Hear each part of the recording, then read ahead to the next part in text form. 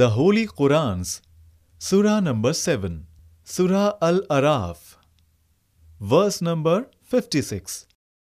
بسم الله الرحمن الرحيم ولا تفسدوا في الأرض بعد إصلاحها وادعوه خوفا وتمعا إن رحمة الله قريب من المحسنين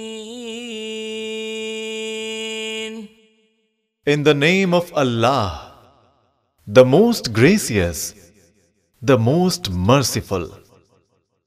And do not make mischief in the earth after it has been set in order, and call upon Him with fear and longing. Surely, Allah's mercy is close to those who do good.